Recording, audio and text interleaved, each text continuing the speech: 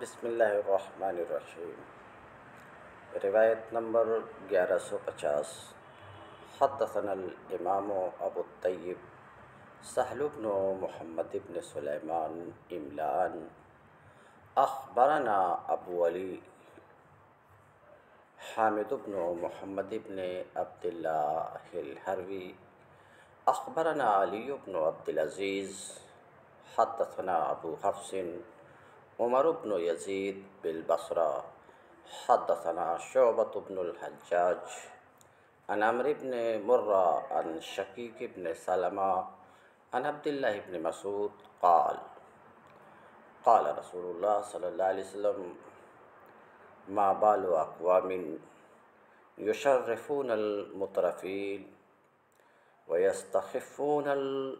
ويستخفون بالآبدين ويعملون بالقرآن ما وافق أهواءهم وما خالف أهواءهم تركوه فإن ذلك يؤمنون ببعض ويكفرون ببعض ويسعون فيما يدرك بغير سعي من القدر المقدور والأجل المكتوب والرزق المقسوم. ولا يسعون فيما لا يدرك. إلا بالسعي من الجزاء الموفور والسعي المشكور والتجارة التي لا تبور. حضرت عبداللہ ابن مسعود رضی اللہ تعالی عنہ فرماتے ہیں کہ رسول اللہ صلی اللہ علیہ وسلم نے فرمایا، کیا حال ہے لوگوں کا جو ظالموں کو تو عزت دیتے ہیں اور نیکوکاروں عبادت گزاروں کو ذلیل و خار سمجھتے ہیں۔ فعل مظاہرے کا سگا ہے، تو حال کے ساتھ استقبال سے بھی ترجمہ کیا جانا صحیح ہے۔ کیا حال ہے لوگوں کا جو ظالموں کو تو عزت دیں گے اور نیکوکار عبادت گزاروں کو ذلیل و خار سمجھیں گے اور بے بے عزت سمجھیں گے؟ صادق مصدوق رسول اللہ صلی اللہ علیہ وسلم نے جو یہ فرمایا، آج ہم اپنے وقت میں اس بات کو خوب خوب دیکھتے ہیں اور مشاہدہ کرتے ہیں کہ علماء اور مشائق کہے جانے والے شخصیات، کہے جانے والی شخصیات ان لوگوں کا حال بھی عام طور سے یہ ہے۔ بیشتر علماء اور مشائق آج ایسے ہی ہیں کہ سیٹھوں دولت مندوں دنیا داروں کی تو وہ قدر کرتے ہیں، ان کی عزت کرتے ہیں، ان کے آگے پیچھے کرتے ہیں۔ انہیں خوش رکھنے کی بھرپور کوشش کرتے ہیں۔ ان کے مکانوں میں بطور مہمان ٹھہرتے ہیں اور ان کے مکانوں کا چکر لگاتے ہیں۔ وہیں وہیں فقراء، نیکوکار، عبادت گزار کے گھر کے قریب بھی نہیں پھٹکتے۔ اگرچہ سو بار یہ عبادت گزار اور فقراء دنیا دار علماء اور مشائق کو مدعو کریں دعوت دیں، مگر اس کے گھر کے قریب بھی نہیں پھٹکتے۔ حد تو یہ ہے، حد تو یہ ہے کہ آج کے بیشتر دینی قائدین خواہ علماء ہوں کہ مشائق ان کے قریب، ان سے ملاقات کے لیے، ان سے بات کے لیے جب فقراء نیکوکار پہنچتے ہیں، تو یہ حضرات ان کی طرف توجہ تک نہیں کرتے، ان سے بات تک نہیں کرتے۔ حوصلہ افزائی تو دور کی بات ہے۔ اللہ کے رسول صلی اللہ علیہ وسلم نے فرمایا، اور اللہ کے رسول صلی اللہ علیہ وسلم کا یہ فرمان آج کے ان قائدین علماء و مشائق کی نظر میں رہنا چاہیے اور اللہ کا خوف کرنا چاہیے جو عبادت گزار عبادت گزار نیک وکار غریبوں کو خاطر میں نہیں لاتے۔ اللہ کے رسول صلی اللہ علیہ وسلم فرماتے ہیں، کیا حال ہے لوگوں کا جو ظالموں کو تو عزت دیتے ہیں اور نیک وکار عبادت گزاروں کو ذلیل و خوار سمجھتے ہیں اور انہیں بے عزت سمجھتے ہیں یعنی عزت نہیں دیتے ہیں۔ وَيَسْتَخِفُّونَ بِالْعَابِدِينَ اور عبادت گزاروں کو معمولی سمجھتے ہیں، ہلکا سمجھتے ہیں، ذلیل سمجھتے ہیں اور ان کی تذلیل کرتے ہیں۔ وہ وَيَعْمَلُونَ بِالْقُرْآنِ مَا وَافَقَ أَهْوَاءَهُمْ وَمَا خَالَفَ أَهْوَاءَهُمْ تَرَكُوهُ۔ اور قرآن کے اس بعض حصے پر تو عمل کرتے ہیں جو ان کی خواہشات کے مطابق ہے۔ خواہشات کے مطابق ہے۔ اس بات کا بھی آج عام طور سے مشاہدہ ہے کہ ایمان کا دعویٰ کرنے والے قرآن کے اس حصے کو تو مانتے ہیں، اس حصے پر تو عمل کرتے ہیں جو ان کی خواہشات کے موافق ہے، جو ان کی چاہتوں کے موافق ہے۔ اور جو حصہ قرآن کا ان کی خواہشات کے خلاف ہے، اس کو چھوڑ دیتے ہیں۔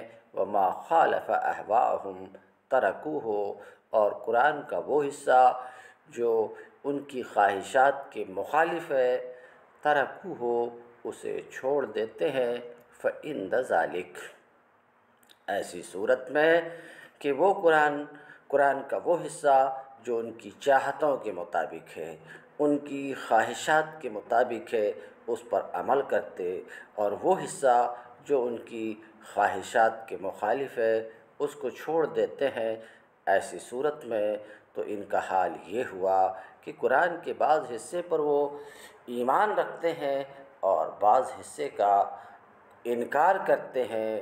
بعض حصے کا انکار کرتے ہیں، بعض حصے کے ساتھ کفر کرتے ہیں۔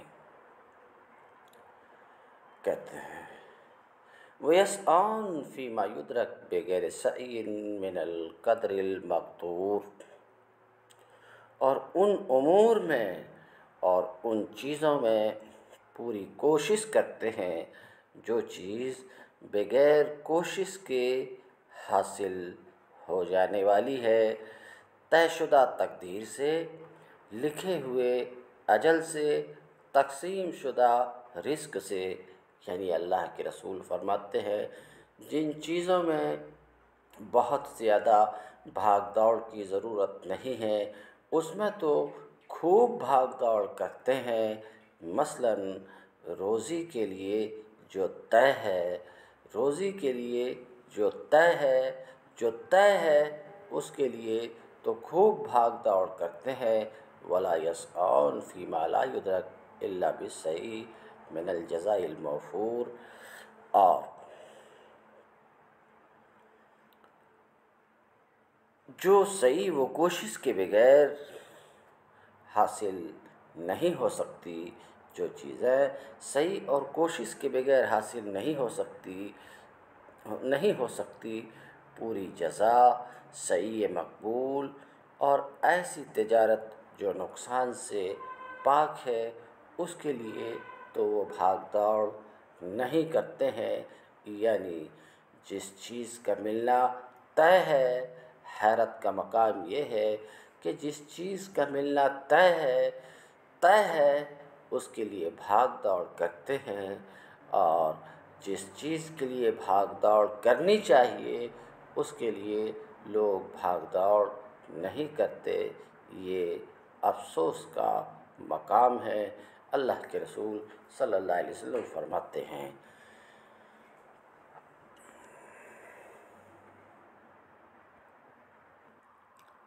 حدیث نمبر گیارہ سو اکاون۔ ون ون فائیو ون اخبرنا ابو عبداللہ الحافظ والقاضی ابو بکر احمد بن الحسن۔ قال حدثنا ابو العباس محمد بن یعقوب، حدثنا احمد بن عبد الجبار، حدثنا ابن فضائل ان حسین ابن عبد الرحمن ان سالم ابن ابی الجاد ان ابی الدرداء انه قال، مالی ارا علماءکم یذهبون و ارا جہلاءکم لا يتعلمون اعلموا قبل أن يرفع العلم فإن رفع العلم ذهاب العلماء إلى آخر روایہ حضرت ابو دردہ نے فرمایا حضرت ابو دردہ رضی اللہ تعالی عنہ نے فرمایا، کیا ہوا؟ میں دیکھ رہا ہوں کہ تمہارے علماء دنیا سے جا رہے ہیں۔ میں دیکھ رہا ہوں کہ مالی ارا علماء اکم یا صبون کیا ہوا کہ میں دیکھ رہا ہوں کہ تمہارے علماء دنیا سے جا رہے ہیں؟ وہ ارا جو حلا اکم لا یتعلمون۔ اور میں دیکھ رہا ہوں کہ تمہارے ان پڑھ لوگ علم نہیں سیکھ رہے ہیں، تمہارے ان پڑھ لوگ علم نہیں سیکھ رہے ہیں۔ علم قبل ان یرفع العلم۔ علم سیکھو، پیشتر اس سے۔ کہ علم اٹھا دیا جائے۔ علم سیکھو۔ اس سے پہلے قبل ان یرفع العلم، اس سے پہلے کہ علم اٹھا دیا جائے۔ فعن رف العلم ذہاب العلماء۔ کیونکہ علم کا اٹھ جانا عالم کا دنیا سے چلے جانا ہے، ظاہر سی بات ہے، علم علماء کے سینے میں ہوتا ہے۔ علم علماء کے سینے میں ہوتا ہے۔ جب علماء چلے جائیں گے تو علم خود بخود اٹھ جائے گا۔ تو فرماتے ہیں، بے شک علم کا اٹھ جانا عالم کا دنیا سے چلے جانا ہے۔ چلے جانا ہے۔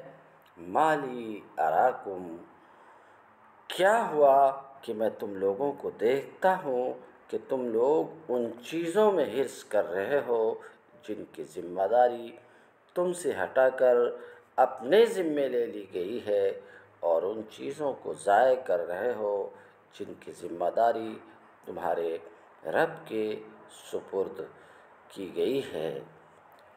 کیونکہ ہم خوب جانتے ہیں تمہارے شریروں کو اور گھوڑوں کی نال سازی پر فخر کرنے والوں کو یہ وہی لوگ ہیں جو نمازوں میں سب سے بعد میں آتے ہیں اور قرآن کو سنتے ہیں جیسے تھکے ہارے بغیر دلچسپی کے۔ ان کے آزاد شدہ بھی آزاد نہیں ہوں گے یعنی جہنم سے نہیں بچیں گے، یہ روایت موقوف ہے حضرت ابو دردہ پر۔ اور اس میں اس اس لفظ کا مفہوم ہے جو مرفوع حدیث کے آخر میں ہے۔ حاضہ موقف وفی ہے مان لفظ الذی فی فی مان لفظ الذی فی آخر الحدیث المرفوع۔ روایت نمبر گیارہ سو باون۔ اخبرنا ابو محمد ابن یوسف الاسبہانی۔ اخبرنا ابو بکر احمد بن سعید۔ بمکت حدثنا عبد الجلیل ابن عاصم المدینی۔ حدثنا حارون بن یحییٰ الحاطبی۔ حدثنا عثمان بن عمر بن خالد۔ وقال مرة عثمان بن خالد بن الزبير قال مرة عثمان بن خالد بن الزبير عن أبيه عن علي بن الحسين عن أبيه عن علي بن أبي طالب قال قال رسول الله صلى الله عليه وسلم إنما تكون الصنيع إلى زيه دین اور حسب و جہاد الضعفاء الحج و جہاد المرأ حسن الطبع لزوجها و تودد نصف الدین الى آخر روایہ حضرت علی بن ابو طالب رضی اللہ تعالی عنہ فرماتے ہیں کہ رسول اللہ صلی اللہ علیہ وسلم نے فرمایا کہ نیکی کرنا اور احسان کرنا دیندار یا شریف الاصل کی طرف سے ہوتا ہے اور کمزوروں کا جہاد حج کرنا ہے اور عورت کا جہاد اپنے شوہر کی خدمت کرنا ہے۔ تو اللہ کے رسول صلی اللہ علیہ وسلم نے اللہ کے رسول صلی اللہ علیہ وسلم نے شوہر کی خدمت کو عورت کا جہاد قرار دیا اور عورت کا جہاد اپنے شوہر کی خدمت کرنا یا اس کے لیے آراستہ ہونا ہے۔ شوہر سے محبت اور دوستی کرنا آدھا دین ہے۔ اللہ کے رسول فرماتے ہیں، جو انسان میانہ روی اختیار کرتا ہے، وہ محتاج نہیں ہوتا۔ صدقہ کے ساتھ رزق اترواؤ یعنی زیادہ کرو۔ زیادہ کرو یعنی صدقہ کر کے رزق بڑھاؤ۔ اللہ تعالیٰ نے انکار کیا ہے کہ مومنوں کا رزق ایسی جگہ سے بنائے جہاں سے وہ خیال و گمان کرتے ہیں، بلکہ ایسی جگہ سے رزق دیتا ہے جہاں سے ان کو وہم و گمان بھی نہیں ہوتا۔ ایسی جگہ سے رزق عطا فرماتا ہے، جہاں سے مومن کو وہم و گمان بھی نہیں ہوتا۔ قرآن مجید میں اللہ تعالیٰ کا ارشاد اس کی تائید کرتا ہے، وَمَن يَتَّقِ اللَّهُ يَجْعَل لَّهُ مَخْرَجًا وَيَرْزُقْهُ مِنْ حَيْثُ لَا يَحْتَسِبُ۔ جو شخص اللہ سے ڈرتا ہے، اللہ تعالیٰ اس کے لیے راستہ خود بناتا ہے اور اس کو ایسی جگہ سے رزق دیتا ہے جہاں سے اس کو گمان بھی نہیں ہوتا۔ ایک اور موقع پر حضور صلی اللہ علیہ وسلم نے فرمایا کہ جو خرچ میں میانہ روی کرتا ہے، تنگ دست نہیں ہوتا۔ قال الإمام أحمد رحمه الله تعالى وهذا حديث لا أحفظه لا أحفظه على هذا الوجه إلا بهذا الإسناد وهو ضعيف بمرة. فإن صح فمعناه أبى الله أن يجعل جميع أرزاقهم من حيث يحتسبون وهو كذلك. فعن اللہ یرز کو عباد ہو من حیث یحتسبون کما ان تاجر یرز کو ہو من تجارت ہی والحارث یرز کو ہو من حراثت ہی وغیر ذالک وقد یرز کو من حیث لا یحتسبون کر رجل یصیب معدنا او کنزن اور یموت لہو قریب فيرثه أو يؤتي من غير إشراف نفس ولا سؤال ونحن لم نقل إن الله تعالى لم يوصل أحدا إلى خير إلا بجد إلا بجهد وسعي وإنما قلنا إلى آخره. إمام أحمد فرماتے ہیں کہ اس حدیث کو ہم نے صرف اسی اسناد کے ساتھ ایسے طرز پر ہی محفوظ کیا ہے اور یہ کئی اعتبار سے ضعیف ہے۔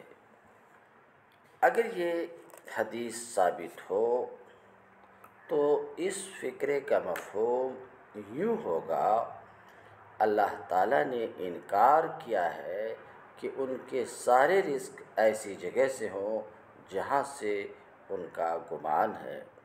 اور یہ معاملہ فی الحقیقت اسی طرح ہی ہے کہ اللہ تعالیٰ اپنے زیادہ تر بندوں کو رزق ایسی ہی جگہ سے دیتا ہے جہاں سے وہ ملنے کا خیال کرتا ہے۔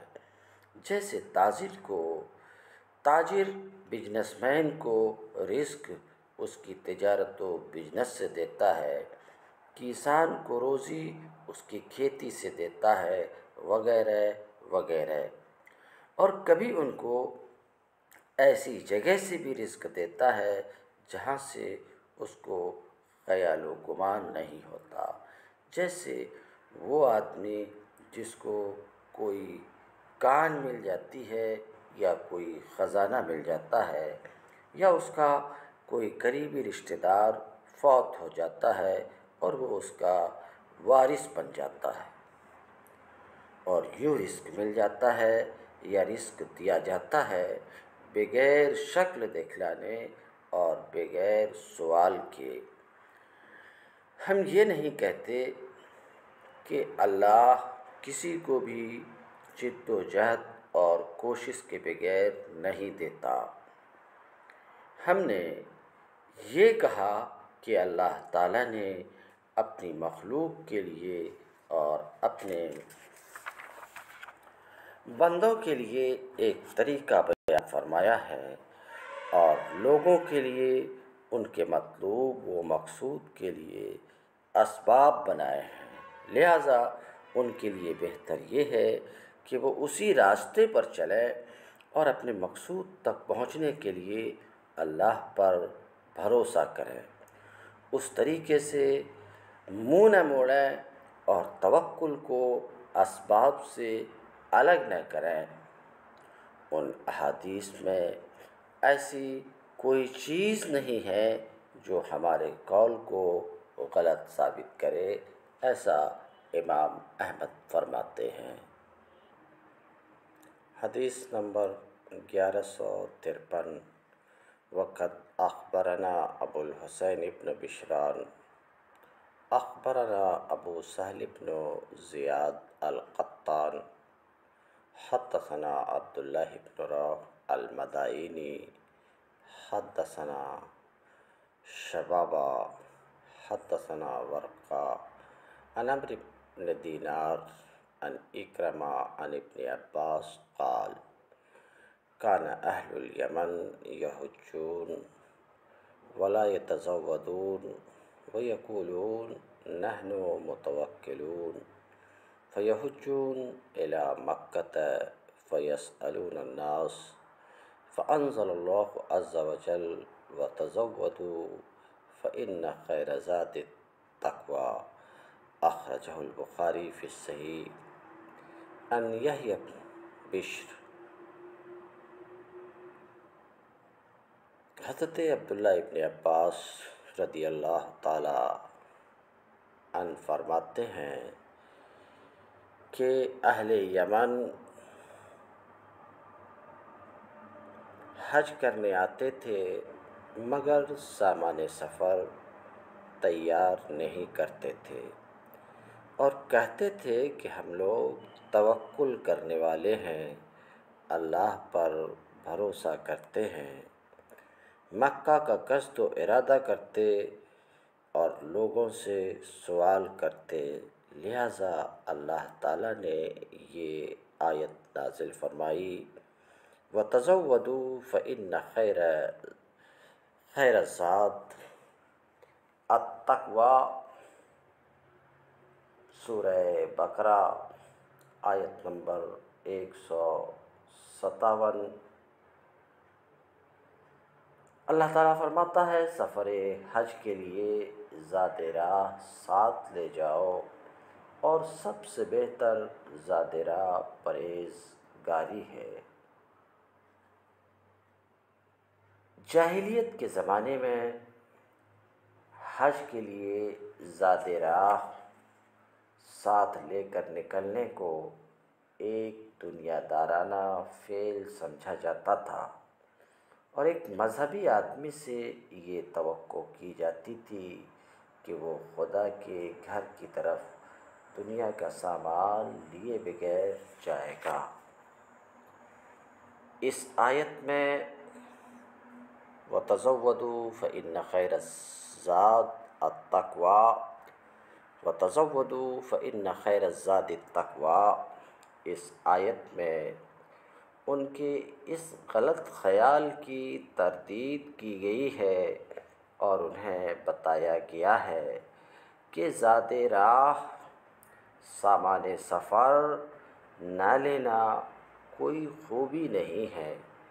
اصل خوبی اللہ کا خوف اور اس کے احکام کی خلاف ورزی خلاف ورزی سے اجتناب اور زندگی کا پاکیزہ ہونا ہے۔ جو مسافر اپنے اخلاق درست نہیں رکھتا اور خدا سے بے خوف ہو کر برے اعمال کرتا ہے، وہ اگر زاد راہ ساتھ نہ لے کر محض ظاہر میں فقیری کی نمائش کرتا ہے، تو اس کا کوئی فائدہ نہیں۔ خدا اور خلق دونوں کی نگاہ میں وہ ذلیل ہوگا اور اپنے اس مذہبی کام کی بھی توہین کرے گا جس کے لیے وہ سفر کر رہا ہے۔ لیکن اگر اس کے دل میں خدا کا خوف ہے اور اس کے اخلاق درست ہیں، تو اللہ کے ہاں بھی اس کی عزت ہوگی، خلق بھی اس کا احترام کرے گی۔ چاہے اس کا توشہ دان کھانے سے بھرا ہو۔ و تضودو فعن خیر الزاد تقوا اخرجہ البخاری فی امام بخاری نے بھی اس حدیث کی تخریج کی ہے اپنی صحیح میں یحییٰ بن بشر سے۔ قال الامام احمد رحمہ اللہ تعالی۔ وفي هذا أن الله تعالى أمر زوار زوار بيته بالتزود وقال إن خير الزاد التقوى. يعني والله تعالى أعلم. فإن خير الزاد ما عاد على صاحبه بالتقوى. وقال الهلمي رحمه الله وهو اللہ يتوکل على ازواد الناس فیوزیہم الى آخرہ۔ شیخ حلیمی فرماتے ہیں کہ بہترین سفر خرچ تقوا ہے۔ اس کا مطلب ہے کہ لوگوں کے سفر خرچ پر بھروسہ نہ کرے لوگوں کے سفر خرچ پر بھروسہ نہ کرے کہ پھر ان کو تکلیف پہنچائے اور ان کے لیے تنگی کرتے۔ جو شخص دیہات میں بغیر سفر خرچ کے داخل ہوتا ہے، توکل کرنے والا وہ یہ امید کرتا ہے کہ اللہ تعالیٰ کوئی ایسا بندہ کھڑا کر دے گا جو اپنے سفر خرچ سے اس کے ساتھ ہمدردی کر لے گا۔ یہ بے نہیں، وہی چیز ہے۔ اللہ تعالیٰ نے آیت میں جس سے منع کرنے کا اشارہ فرمایا۔ اس سے یہ بات واضح ہو گئی کہ اس کے مستحب ہونے کا کوئی معنی نہیں ہے، بلکہ مستحب یہی ہے۔ کہ یا تو سفر خرچ تیار کرے، ورنہ اس وقت تک سفر نہ کرے جب تک سفر خرچ موجود نہ ہو۔ جب تک سفر خرچ موجود نہ ہو۔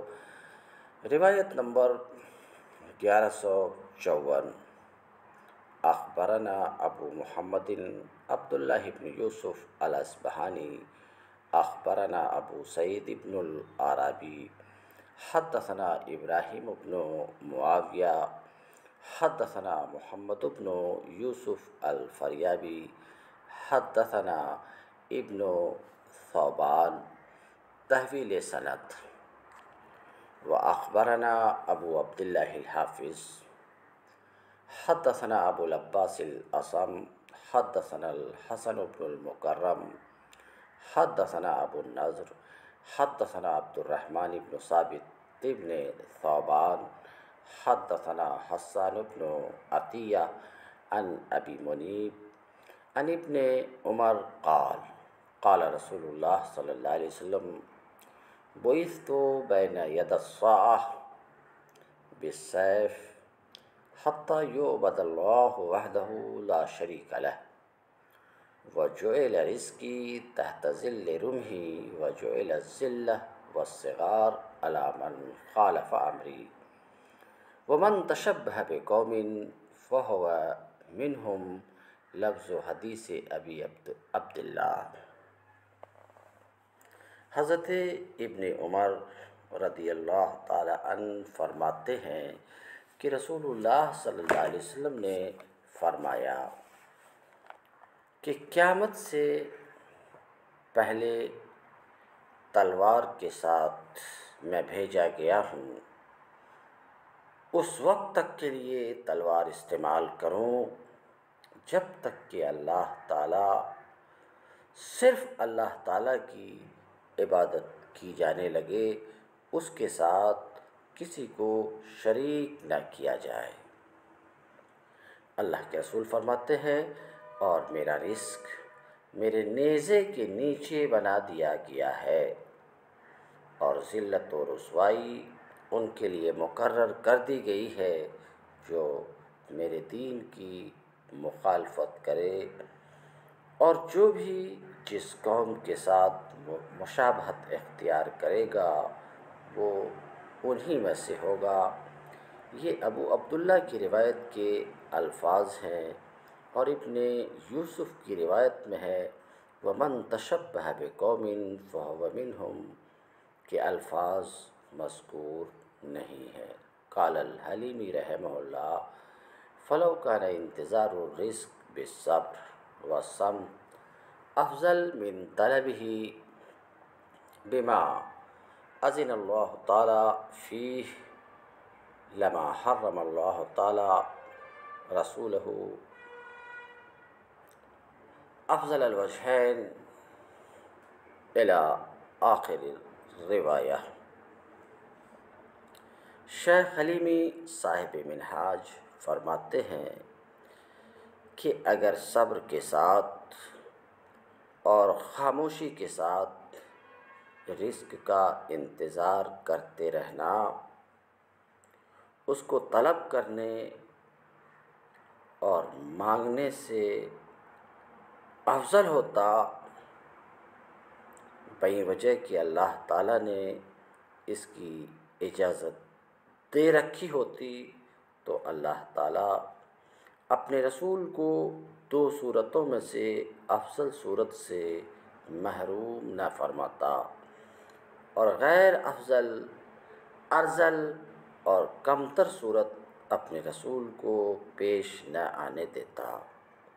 شیخ حلیمی نے اپنے اس موقف پر ابو الحسم بن ابو الحسم کے واقعہ سے حجت پکڑی ہے، جس میں ہے کہ نبی کریم صلی اللہ علیہ وسلم اور صدیق اور فاروق تینوں کے تینوں حضرات کو جب سخت بھوک لگی تھی تو تینوں بزرگ ابو الحیثم کے گھر چلے گئے۔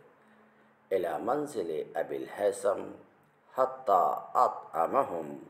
تینوں بزرگ ابو الحیثم کے گھر چلے گئے۔ تو انہوں نے ابو الحیثم نے تینوں کو کھانا کھلانے کی سعادت حاصل کی تھی۔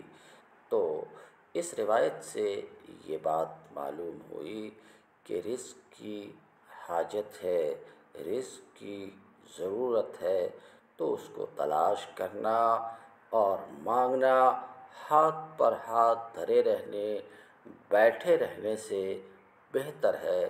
جیسا کہ یہ تینوں حضرات اللہ کے رسول اور ان کے دو عظیم صحابہ کے اس عمل سے ظاہر ہے۔ کہ جب سخت بھوک لگی تو اللہ کے رسول صلی اللہ علیہ وسلم اور حضرت ابو بکر اور حضرت عمر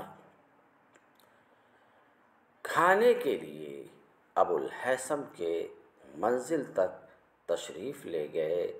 یہاں تک کہ ابو الحسم نے ان تینوں بزرگوں کو کھانا کھلانے کی سعادت حاصل کی۔ حتیٰ اطعمہم۔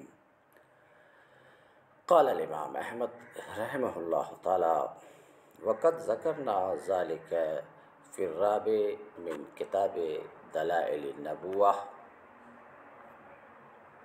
وفيه ما دل على من احتاج إلى طعام فلم يجده ولم يعلم أحد حاله كان عليه أن يحدث بحاله. من يظن ان عنده وفاء بتغييره لا ان يسكت ويتصبر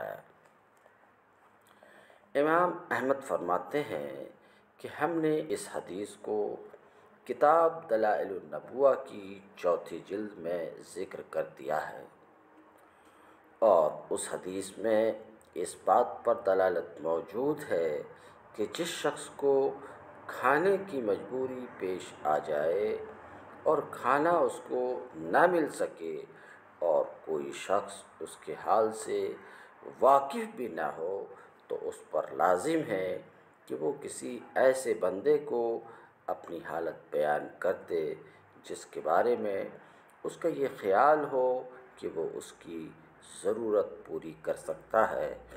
مگر یہ کہ خاموش رہے اور زبردستی صبر کرے تو کوئی حاجت پوری کر لے گا۔ یہ یہ بہتر عمل نہیں ہے۔ بہتر عمل یہ ہے کہ اپنی ضرورت کو کسی کے سامنے پیش کرے، جیسا کہ ابھی ابھی آپ نے حدیث سماعت فرمائی۔ حدیث نمبر گیارہ سو پچپن۔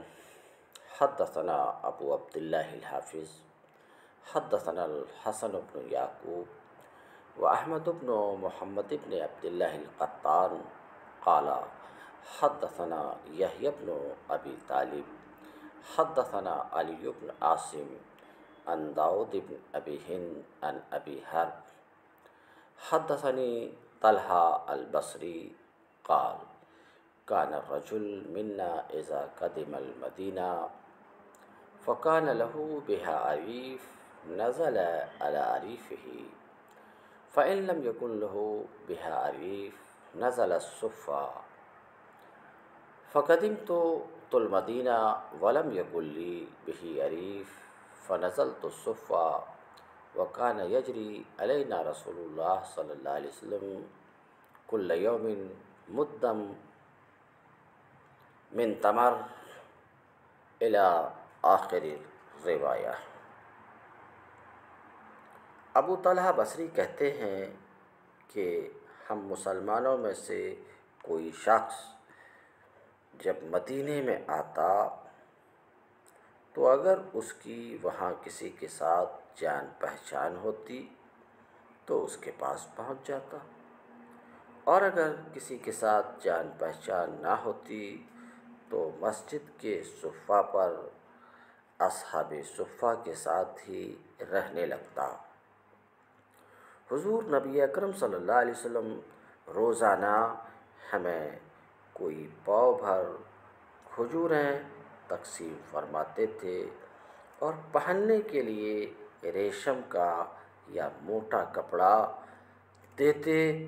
ایک روز رسول اللہ صلی اللہ علیہ وسلم نے ہمیں دن کی کوئی نماز پڑھائی۔ جب آپ نماز پڑھا کر فارغ ہوئے تو وہ دائیں بائیں سے صفہ والوں نے آپ صلی اللہ علیہ وسلم کو آواز دی اور آپ کو پکارا، یا رسول اللہ، کھجور نے ہمارے پیٹوں کو جلا ڈالا ہے یعنی شدید گرمی کا دن ہے اور ہمارا لباس جو موٹا ریشم یا اون کا تھا، وہ پھٹ گیا ہے۔ حضور صلی اللہ علیہ وسلم اپنے ممبر کی طرف جھکے اور اس پر چڑھ کر اللہ کی حمد و ثناء کی اور آپ نے تکلیف کی شدت کو ذکر کیا جو آپ کی قوم کو پہنچی تھی۔ یہاں تک کہ فرمایا، یقیناً مجھ پر اور میرے ساتھی یعنی صدیق پر بسا اوقات ایسا وقت بھی آیا تھا۔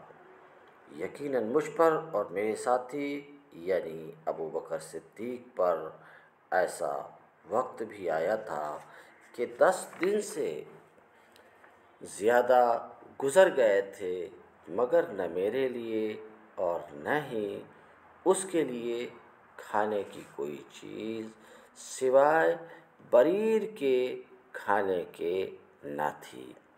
راوی کہتے ہیں کہ میں نے ابو حرب سے کہا، یہ بریر کیا ہوتا ہے؟ انہوں نے کہا کہ رسول اللہ صلی اللہ علیہ وسلم کا کھانا پیلو کی کھجور تھیں یعنی پیلو کے درخت کا پھل ہی کھانے کو میسر تھا۔ اور کچھ نہیں تھا۔ تو لوگ، تو ہم لوگ اپنے بھائیوں، انصاریوں کے پاس آئے اور ان کا زیادہ تر کھانا کھجوریں ہوتی تھی۔ انہوں نے ہمیں اسی پر شریک کر لیا۔ ازراہ ہمدردی، تو اللہ کی قسم، اگر میرے پاس تمہارے لیے گوشت اور روٹی میسر ہو تو میں اس کے ساتھ تمہارا پیٹ بھروں گا۔ لیکن وہ وقت قریب ہے، لیکن وہ وقت قریب ہے کہ تم پاؤ گے کہ تمہارے ایک بندے کے پاس کھانے کا تھال بھرا ہوا ہو۔ صبح کو الگ کھانا آئے گا، شام کو دوسرا آئے گا، راوی کہتا ہے کہ رسول اللہ صلی اللہ علیہ وسلم سے لوگوں نے پوچھا، کیا ہم لوگ آج بہتر ہیں؟ یعنی آج بہتر ہیں جبکہ کھانے کی تنگی ہے، یا اس وقت بہتر ہوں گے جبکہ کھانے کی فراوانی ہوگی۔ آپ صلی اللہ علیہ وسلم نے فرمایا، نہیں، تم لوگ آج بہتر ہو اس دن سے۔ آج تم لوگ ایک دوسرے سے شدید محبت کرتے ہو۔ اور اس وقت تمہارا بعض بعض کی گردنیں مارے گا۔ یعنی تم لوگ مسلمان ایک دوسرے کو قتل کرو گے۔ میرا اندازہ ہے کہ آپ نے یہ بھی فرمایا تھا کہ اس وقت ایک دوسرے سے شدید بغض رکھو گے۔ مخبر صادق علیہ السلام کا فرمان، آپ صلی اللہ علیہ وسلم کی پیشین گوئی۔ آج کے دن میں سو فیصد۔ مشاہدہ کی جا رہی ہے کہ آج کھانے پینے کی فراوانی ہے، مگر لوگوں کے درمیان آپس میں محبت نہیں ہے، بلکہ لوگ ایک دوسرے سے بغض اور کینہ رکھتے ہیں، وہ بھی شدید قسم کی۔ قال الامام احمد رحمہ اللہ تعالی وفی هذا الحدیث ان اصحاب الصفہ لم يصبروا على المجاعہ۔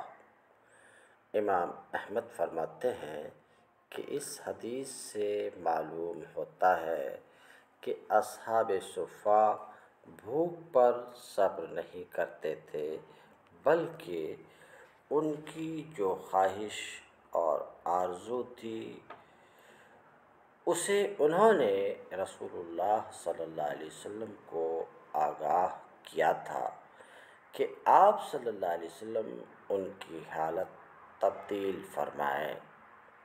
اور خود رسول اللہ صلی اللہ علیہ وسلم نے بھی اس کا، اس کی اس بات کا انکار نہیں کیا تھا، بلکہ ان کو ایسا جواب دیا تھا جس سے ان کی تسکین فرمائی تھی۔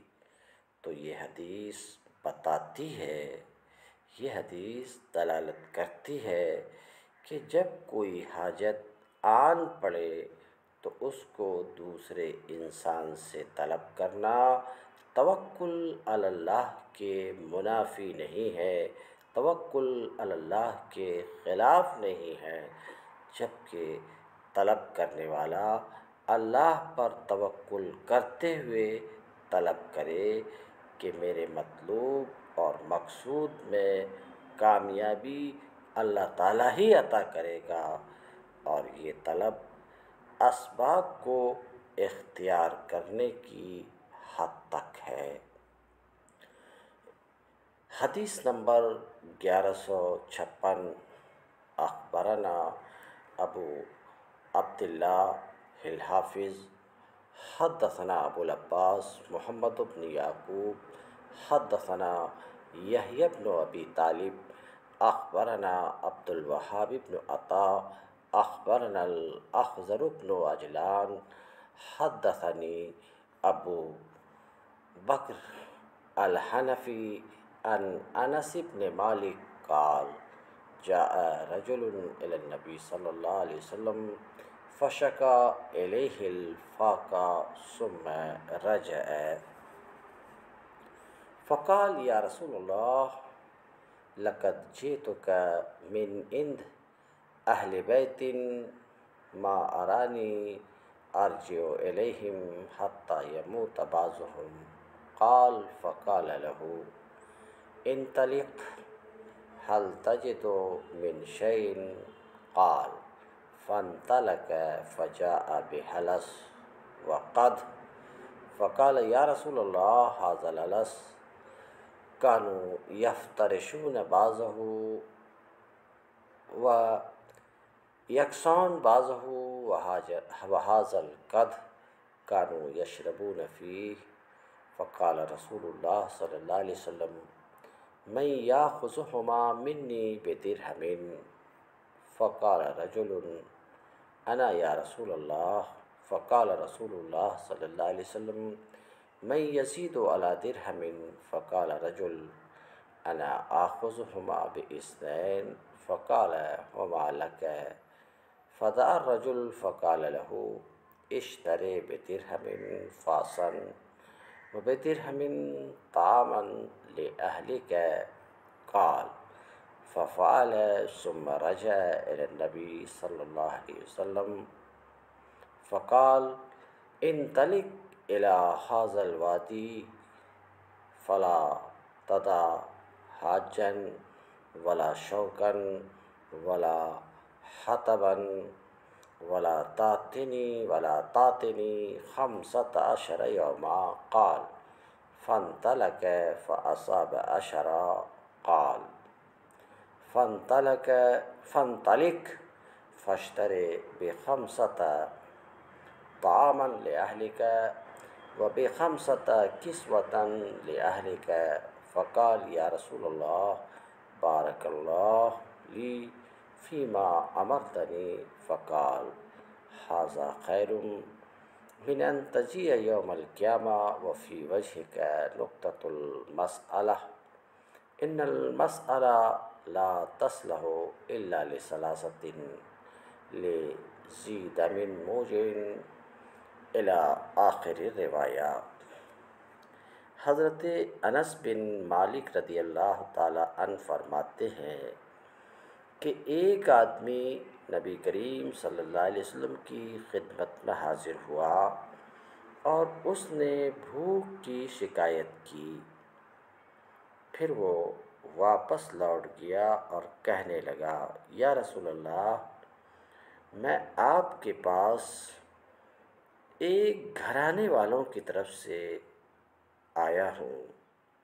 میں سمجھتا ہوں کہ میں ان کی طرف لوٹ کر جاؤں گا تو ان میں سے ایک نہ ایک بھوک سے مر چکا ہوگا۔ کہتے ہیں، رسول اللہ صلی اللہ علیہ وسلم نے اس آدمی سے فرمایا، آپ جائیں کہ آپ کے پاس کوئی چیز موجود ہے تو اسے لے کر آئیں۔ فرمایا کہ وہ چلا گیا اور جا کر ایک ٹاٹ اٹھا کر لے آیا اور ایک پیالہ اور عرض کرنے لگا، یا رسول اللہ، یہ ٹاٹ ہے، کچھ تو اس میں سے نیچے بچھاتے ہیں اور کچھ اوپر اوڑھتے ہیں اور اس پیالے میں سے پانی پیتے ہیں۔ نبی کریم صلی اللہ علیہ وسلم نے اعلان فرمایا کہ ان دونوں چیزوں کو مجھ سے ایک درہم کے بدلے میں کون خرید کرتا ہے؟ ایک آدمی نے کہا، میں خریدتا ہوں اے اللہ کے رسول صلی اللہ علیہ وسلم۔ نبی کریم صلی اللہ علیہ وسلم نے فرمایا، ایک درہم سے زیادہ کون دیتا ہے؟ ایک دوسرے آدمی نے کہا، میں خریدتا ہوں، یا رسول اللہ، دو درہم کے بدلے میں۔ نبی کریم صلی اللہ علیہ وسلم نے فرمایا کہ یہ دونوں تیری ہے۔ آپ نے اس آدمی کو بلا کر فرمایا، جاؤ۔ ایک درہم کے بدلے کلہاڑی خرید کرو اور ایک درہم کا اپنے گھر والوں کے لیے کھانا خرید کرو۔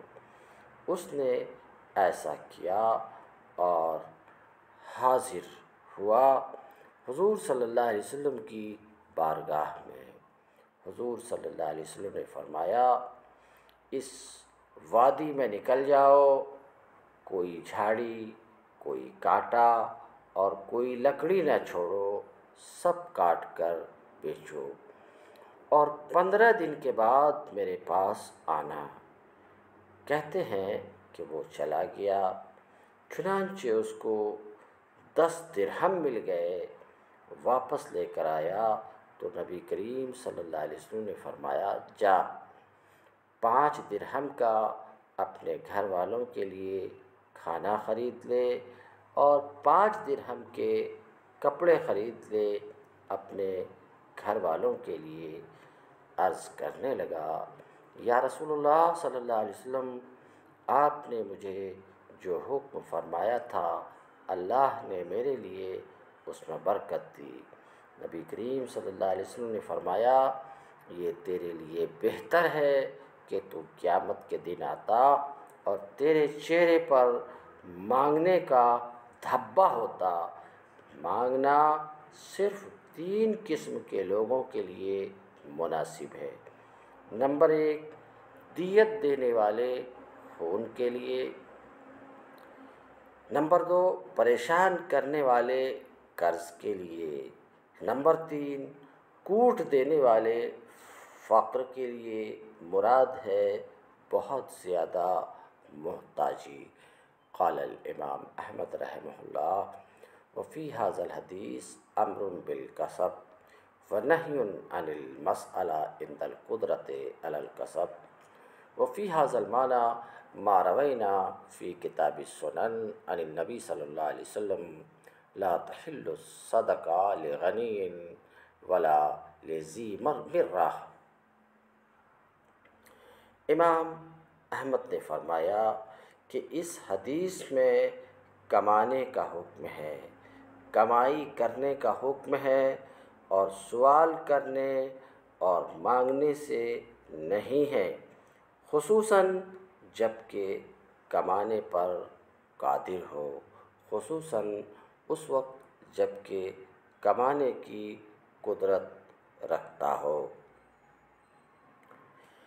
امام بحقی کہتے ہیں، ہم نے کتاب السنن میں نبی کریم صلی اللہ علیہ وسلم سے جو روایت کی ہے، وہ حدیث بھی اس مفہوم کو بیان کرتی ہے۔ حدیث یہ ہے، لا تحل الصدقہ لغنی الى آخر، کہ مالدار کے لیے صدقہ لینا حلال نہیں ہے اور صحت مند تندرست آدمی کے لیے بھی صدقہ لینا حلال نہیں ہے۔ ہلس۔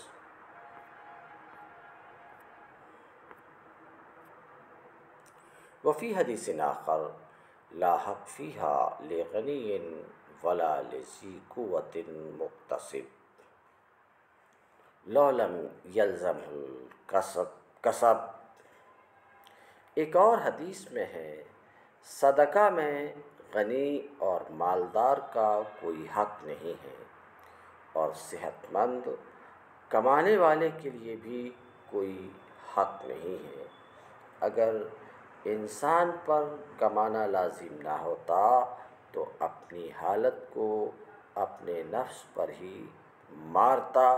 اس لیے کہ صدقہ لینا تو اس پر کمائی پر قدرت کے باوجود حرام ہے اندل قدرت الکسب وقت روینہ ان سید المتوکلین و رسول رب العالمین انہو کان یحبسو مما افا اللہ علیہ. اور ہم نے امام بحقی کہتے ہیں تمام توکل کرنے والوں کے سردار اور رب العالمین کے رب العالمین کے تمام رسولوں کے سردار سے روایت کیا ہے کہ حضور صلی اللہ علیہ وسلم مال فہ میں سے جو اللہ تعالیٰ ان پر فہ فرماتے تھے، سال بھر کا خرچہ اپنے گھر والوں کا رکھ لیتے تھے۔ اس کے بعد باقی جو کچھ بچتا اس کو بیت المال کے دیگر مصارف میں لگاتے تھے۔ بیت المال کے دوسرے اخراجات میں اسے صرف کر دیتے تھے۔ ودخل مکہ عام الفت و علا راسح المغفر۔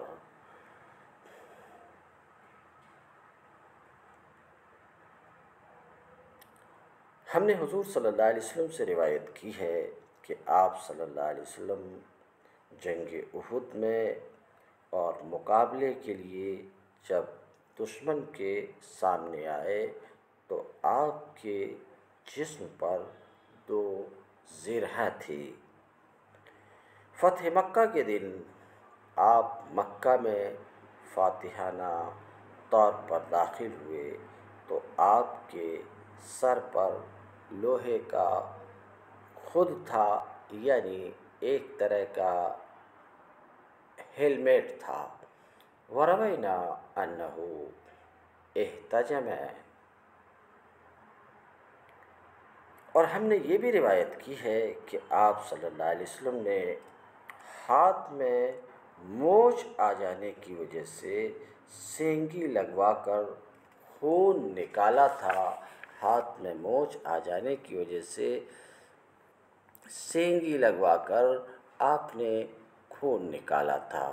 وروینہ انہو ادویہ امر بہا فانہو قال تداو فان اللہ لم یزیدان لم یزیدان الا فإن انہو قال تداو فإن اللہ تعالی لم یز داً اللہ وض له شفاء الا الحرم و امر بلستر کا وزن اور ہم نے نبی کریم صلی اللہ علیہ وسلم سے کئی ایک دوائیں بھی روایت کی ہیں، جن کا آپ صلی اللہ علیہ وسلم نے حکم دیا تھا۔ نیز یہ کہ آپ نے فرمایا تھا، دوا علاج کرو۔ آپ صلی اللہ علیہ وسلم نے فرمایا تھا، دوا علاج کرو۔ بے شک اللہ تعالیٰ نے کوئی بیماری نہیں بنائی، مگر اس کے لیے اللہ نے شفا بھی رکھی ہے۔ یعنی لکل دا، دوا۔ ہر بیماری کی ایک دوا اللہ تعالیٰ نے بنائی ہے، سوائے بڑھاپے کے۔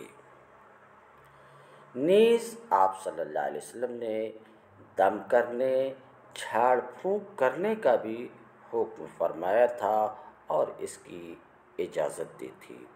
اور ارشاد فرمایا تھا کہ تم میں سے جو شخص استطاعت رکھے کہ اپنے بھائی کو فائدہ پہنچا سکے، اسے چاہیے کہ ضرور نفع پہنچائے۔ اسے چاہیے کہ ضرور من استطاع منکم ان ينفع ہو فلے ہو اسے چاہیے کہ اپنے بھائی کو ضرور نفع پہنچائے۔